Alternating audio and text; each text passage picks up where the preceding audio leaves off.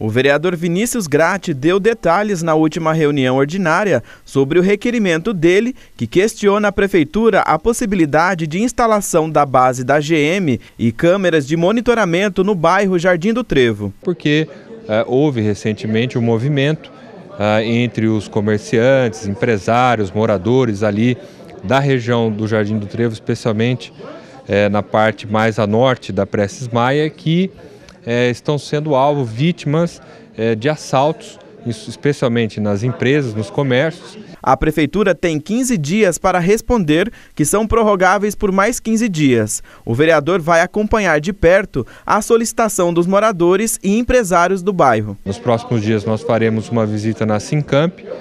Né?